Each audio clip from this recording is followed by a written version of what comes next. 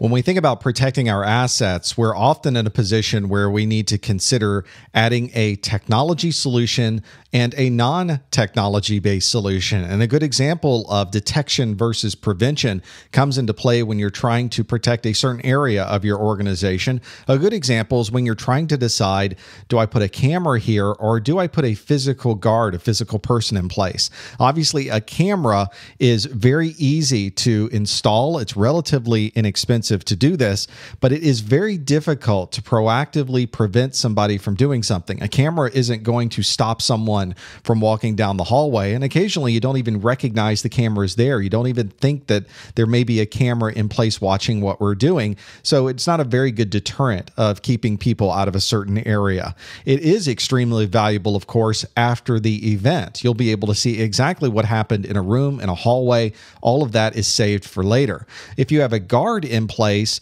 that's a completely different posture. It is now a physical person who can interact with the people walking down a hallway, going into a room and it allows you to proactively prevent certain things from occurring. And obviously, there are disadvantages to this as well. It's a lot of cost to have a person in place. You have to pay a salary, you have to make sure that person is there, you have to staff perhaps 24 hours a day, seven days a week, but it does have a personal impact. And when you're trying to decide, do I allow people through and simply detect that they're there, or do I actively prevent people from doing something?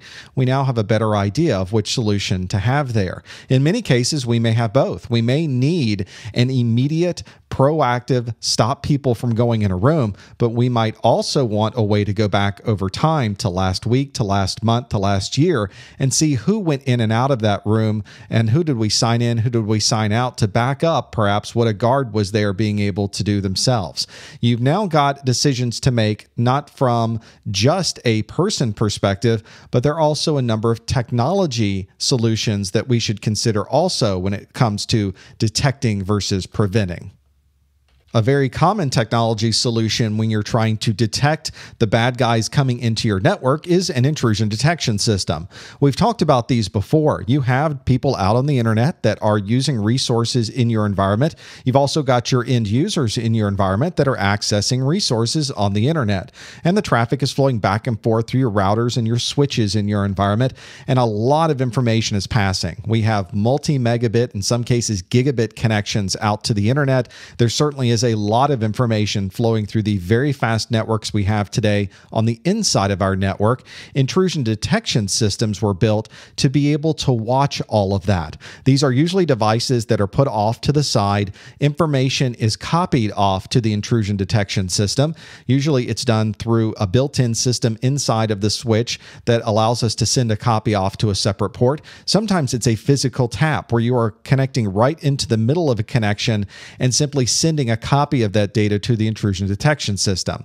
One of the challenges, of course, though, with intrusion detection is that it is only detecting and alerting on these things. There are some intrusion detection systems that have some limited capabilities in actually stopping that traffic, but because we're getting a copy or a mirror of the traffic, that is a very anemic way to try to control information. It really is just there to alert you. And the idea is the intrusion detection system would see someone communicating to a server and some someone from the internet is trying to take advantage of a known vulnerability on that server. Maybe it's something that is not patched through the Microsoft operating system. Maybe it's a vulnerability in the database, someone trying to do database injection.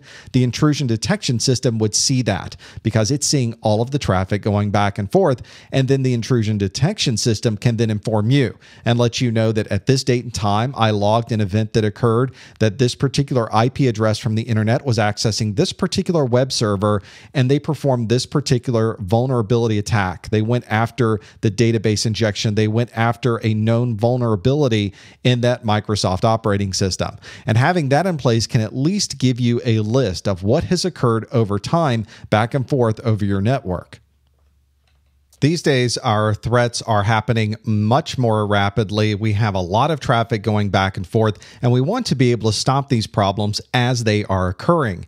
Instead of having an intrusion detection system, we have mostly moved these days to intrusion prevention systems.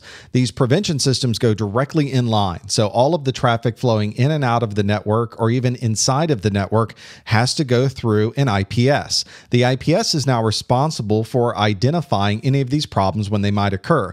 If someone from the internet is trying to take advantage of a known Microsoft operating system vulnerability, the IPS will see it, and because it's in line, it will stop it. So even though the bad guy sends the traffic through, the IPS identifies that traffic and right then drops the packets. They never continue through the network. Someone can try to do a database injection. The IPS recognizes database injections, is able to stop it right there. Obviously, being in line is a very critical piece. There's usually redundancy and fault tolerance associated with the IPS implementation. And IPS systems must be able to keep up with the speeds and still understand all of the different vulnerabilities and signatures that it needs to be able to stop the traffic. But now you've got options. You have the ability to simply report on what's going on with intrusion detection, or you've got the ability to go actively in line and stop these vulnerabilities from going through our network with intrusion prevention systems.